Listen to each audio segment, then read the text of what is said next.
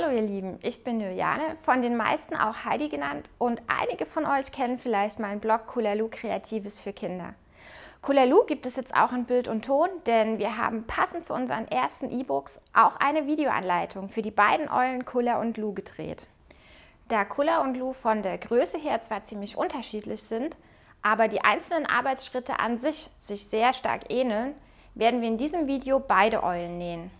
Ich zeige euch die meisten Arbeitsschritte an dem Eulenkissen Kulla und dort, wo es nötig ist, gehe ich nochmal speziell auf den kleinen Lu ein.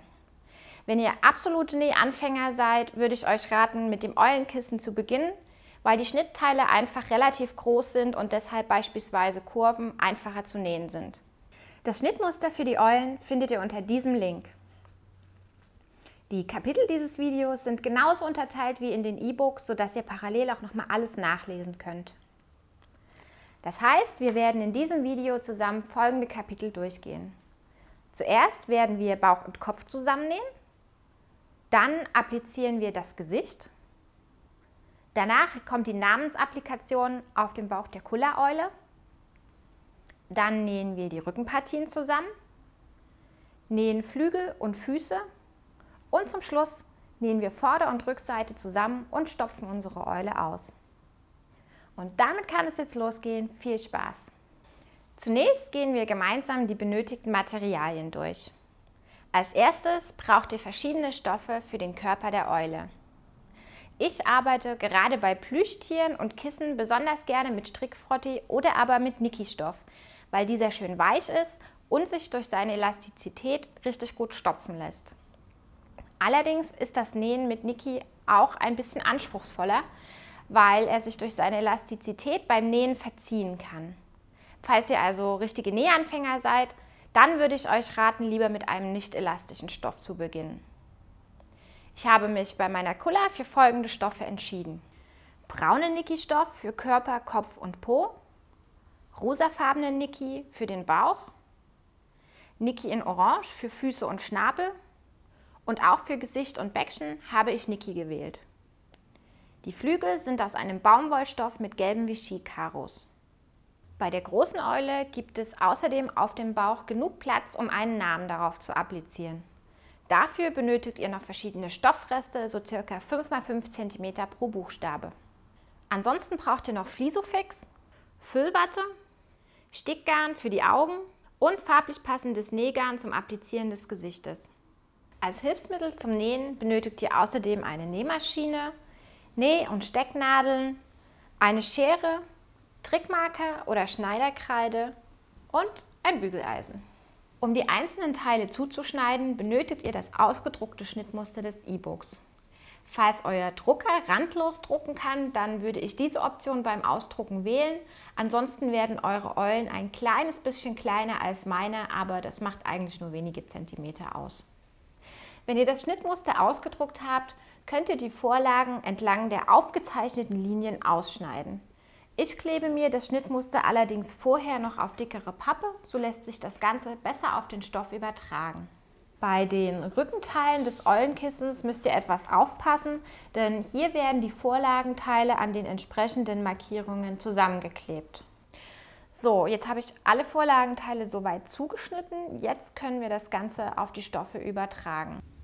Beim Rücken müsst ihr einen der beiden Zuschnitte spiegelverkehrt anlegen, da die beiden Teile später rechts auf rechts aufeinander gelegt und in der Mitte zusammengenäht werden. Bei den Füßen und Flügeln ist es ähnlich wie beim Rücken. Hier müsst ihr zwei von vier Teilen spiegelverkehrt zuschneiden.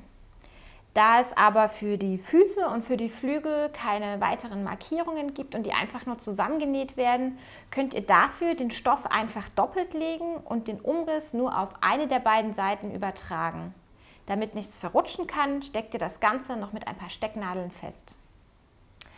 Ansonsten gibt es noch eine Besonderheit beim Kopf und Bauch der Kulle. Und zwar müsst ihr die Vorlage hier im Stoffbruch aufzeichnen.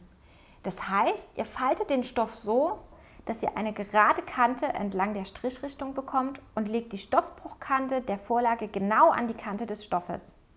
Jetzt könnt ihr den Umriss wie bei den anderen Teilen auch nachzeichnen und den Kopf ausschneiden.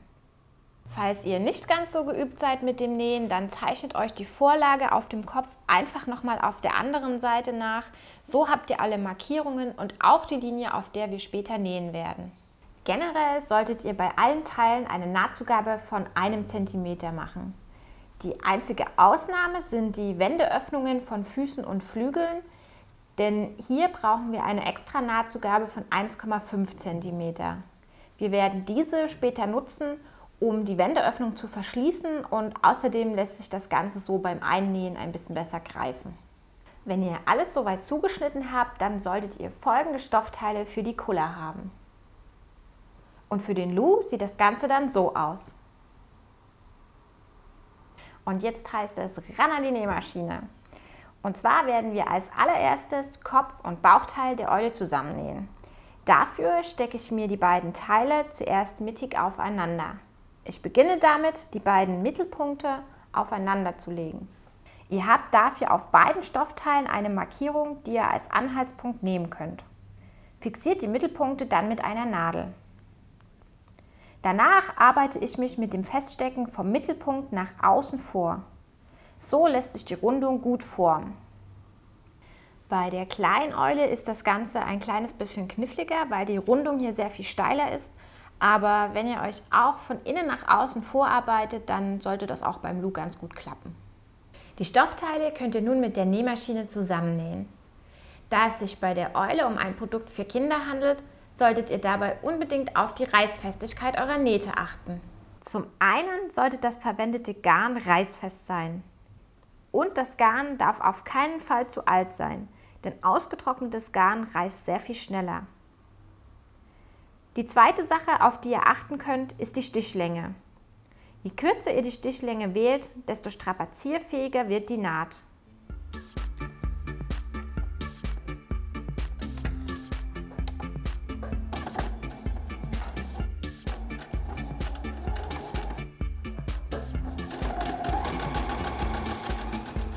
Beim Nähen darauf, dass ihr den restlichen Stoff immer schön von der Naht fernhaltet und nicht aus Versehen ein Stück Stoff von Kopf oder Bauch mit festnäht. Nach dem Zusammennähen bügelt ihr die Nahtzugaben noch um, damit ihr eine schöne Kante erhaltet. Beim Lu habe ich beide Nahtzugaben nach oben gebügelt, da dies durch die steile Kurve vom Vorn einfach am besten aussieht. Als nächstes applizieren wir das Gesicht der Eule. Ich mache das mit Flisofix und einem Zickzackstich, mit dem ich das aufgebügelte Stoffteil umrande. Falls ihr euch das Applizieren mit der Nähmaschine nicht so recht zutraut, könnt ihr stattdessen auch Filz verwenden und das aufgebügelte Filzteil mit einem Knopflochstich umranden. Ich will euch heute aber zeigen, wie ihr mit der Nähmaschine eine Applikation macht. Vielleicht erfordert das ein wenig Übung, aber mit ein paar Tipps und Tricks bekommt ihr hier sicher auch ein tolles Ergebnis hin. Wir starten, indem wir die Vorlage auf das Flisofix übertragen. Dazu lege ich das Flisofix mit der rauen Seite nach unten auf die Vorlage und pause diese mit einem Bleistift durch. Übertragt auch die Markierungen, damit ihr die Stoffteile später genau positionieren könnt. Das Ganze wird nun mit dem Bügeleisen auf die vorbereiteten Stoffstückchen aufgebügelt. Dazu legt ihr das Flisofix mit der rauen Seite auf die linke Seite des Stoffes und bügelt es mit ein bisschen Druck ein paar Sekunden lang an. Wenn die Stoffstückchen abgekühlt sind, kann man die Gesichtsteile entlang der vorgezeichneten Linie ausschneiden. Übertragt nun die Markierungen mit einem Trickmarker auf die rechte Seite des Stoffes und zieht dann das Trägerpapier von den einzelnen Stoffteilen ab. Nun kann das Gesicht auf die Eulenvorderseite aufgebügelt werden. Dazu positioniere ich das Gesicht mit der beschichteten Seite nach unten auf dem Stoff. Das Gesicht sollte dabei mittig liegen und die Bauchnaht um ca. 1 cm überlappen. Nun bügle ich das Stoffteil mit dem Bügeleisen fest. Als nächstes kommt der Schnabel dran. Legt ihn so auf das bereits aufgebügelte Gesicht, dass die Markierungen links und rechts genau an der unteren Kante des Gesichtes liegen. Dann wird der Schnabel ebenfalls festgebügelt. Das gleiche macht ihr nur noch für die Bäckchen und dann ist die Bügelarbeit zumindest für das Eulengesicht für heute erledigt. Um die Applikation zu fixieren, umranden wir nun alle Kanten mit einem Zickzackstich. Teste dafür am besten vorher Stichlänge und Stichbreite auf einem Stoffrest. So könnt ihr auch die optimale Fadenspannung ausprobieren, da diese je nach verwendetem Stoff variieren kann. Wenn sich der Stoff beim Probenähen stark verzieht, könnt ihr ein Vlies auf die Rückseite von Kopf und Bauch auflegen, damit sich der Stoff ein wenig stabilisiert. Ich beginne jetzt mit dem Nähen des Gesichtes. Dazu noch ein kleiner Tipp. Wenn ihr das Garn immer in der gleichen Farbe wählt wie den Stoff, kann man damit super kleine Unsauberkeiten beim Nähen kaschieren. Aber nun zurück zur Zickzacknaht. Ich setze die Nadel dazu an der Kante von Gesicht und Schnabel an. Von hier aus umrande ich das komplette Gesicht einmal, bis ich auf der anderen Seite beim Schnabel wieder ankomme. Das gleiche machen wir nun mit Schnabel und Bäckchen. Beim Lu ist das Umranden von Bäckchen und Schnabel ein klein bisschen schwieriger, da die Rundungen kleiner sind als bei der Kullereule. Hier behelfe ich mir mit einer einfachen Technik. Ich setze die Nadel an der Rundung an und nähe vier Stiche.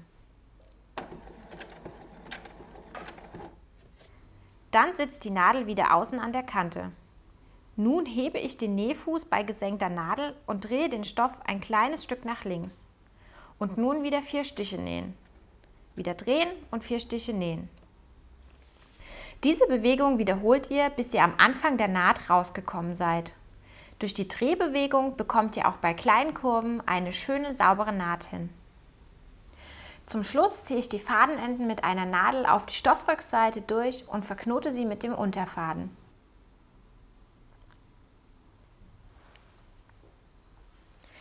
Die Applikation ist damit fertig. Unserem Eulengesicht fehlen nun nur noch die Augen. Diese zeichne ich vor dem Aufsticken mit einem Trickmarker vor. Ich habe dazu aus der Papiervorlage die Linien der Augen ausgeschnitten. Jetzt kann ich die Vorlage auf meinen Stoff auflegen und durch die Lücken die Augen aufzeichnen. Zum Besticken verwende ich einen Rück- bzw. Steppstich, weil dadurch eine durchgezogene Linie entsteht. Beim kleinen Lu sind die Augen etwas anders. Hier formt ihr den Kreis durch mehrere nebeneinander gesetzte Geradstiche.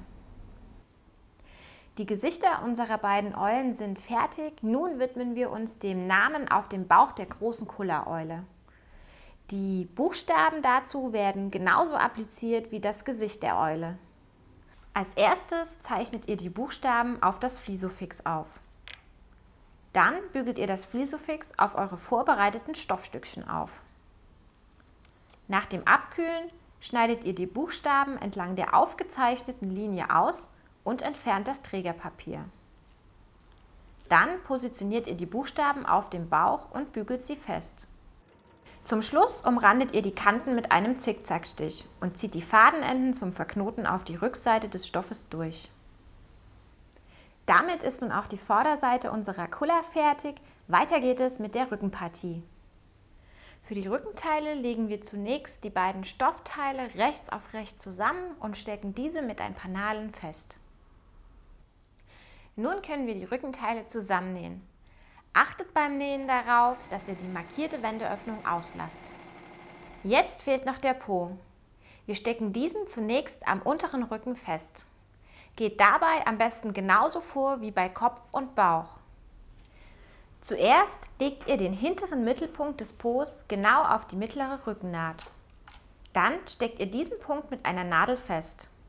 Nun arbeitet ihr euch von innen nach außen vor, bis ihr mit den äußeren Ecken des Po's an den mit A gekennzeichneten Markierungen der Rückenteile ankommt. Wenn ihr den Po gut festgesteckt habt, könnt ihr ihn mit der Nähmaschine annähen.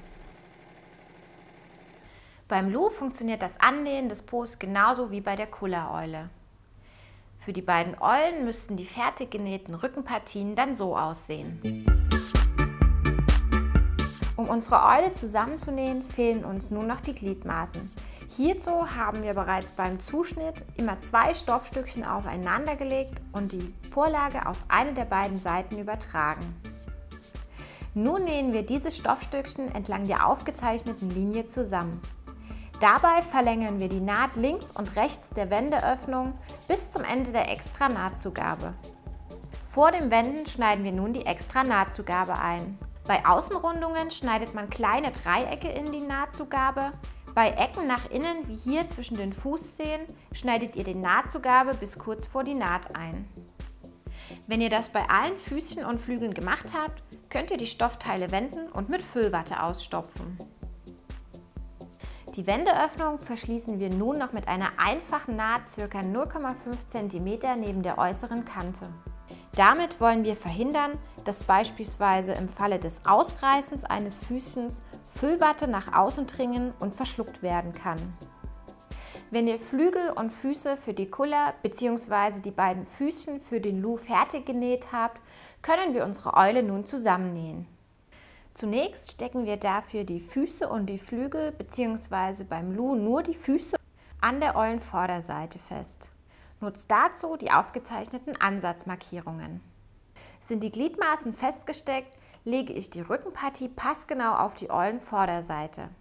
Dann stecke ich die beiden Stoffteile zunächst an den wichtigsten Markierungen zusammen. Zuerst hier am oberen Mittelpunkt vom Kopf, der genau auf der Rückennaht liegen sollte dann den unteren Mittelpunkt vom Bauch und die vordere Mitte des Po's. Und zum Schluss die Po-Ecken und die beiden A-Markierungen auf dem Bauch. Nun könnt ihr den Rest ebenfalls mit Stecknadeln auffüllen. Jetzt wird alles zusammengenäht. Eine Wendeöffnung braucht ihr nicht zu lassen, denn dafür haben wir ja die Öffnung in der mittleren Rückennaht. Bevor wir uns dem Wenden widmen, gibt es noch einen kleinen Hinweis zur Reißfestigkeit eurer Eule. Besonders kleine Kinder lieben es, an abstehenden Teilen wie den Füßen zu ziehen, da sie diese einfach besonders gut greifen können. Deshalb solltet ihr an solchen Stellen mit einer Sicherheitsnaht nochmal für extra Stabilität sorgen. Man benutzt dazu einen sogenannten Dreifachstich. Mit diesem Stich entsteht eine besonders feste Geradstichnaht, weil hier drei Fäden nebeneinander laufen. Falls eure Nähmaschine keinen solchen Stich parat hat, könnt ihr eure Stellen auch mit drei eng nebeneinander gesetzten Geradstichen sichern. Jetzt habe ich alle Fuß- und Flügelansätze gesichert, nun können wir unsere Eule wenden. Zum Schluss verschließen wir die Wendeöffnung noch mit einem Matratzenstich. Wichtig ist, dass diese Naht wirklich richtig gut hält und keine Füllwatte nach außen dringen kann. Ich nehme deshalb immer einen doppelten Faden und nähe die Naht insgesamt dreimal. Und damit sind unsere beiden Eulen Kula und Lu fertig. Ich hoffe, es hat euch Spaß gemacht und ich bin schon ganz gespannt darauf, eure Werke und eigenen Kreationen zu sehen. Also schickt mir auf jeden Fall eure Fotos oder postet sie auf unsere Facebook-Pinnwand. Ich bin schon ganz gespannt auf eure Post. Bis bald, eure Heidi.